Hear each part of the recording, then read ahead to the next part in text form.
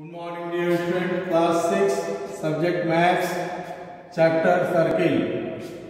Circle, what is a circle? Its definition will be, a circle is the collection of all those points in a plane whose distance from a fixed point remains constant. The fixed point is called the center of a circle and the constant distance is known as radius of circle. Let O be the center of circle of radius R and let P be any point on the circle.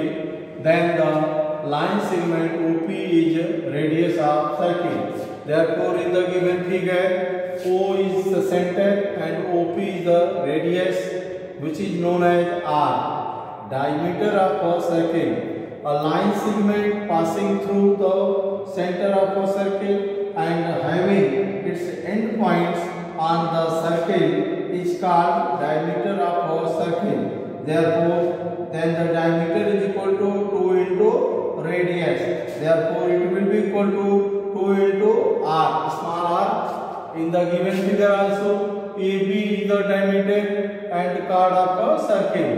A chord of a circle is a line segment with its end points lying on a circle is called a chord of a circle. Therefore, in the given figure, AB is chord of a circle. Thank you very much.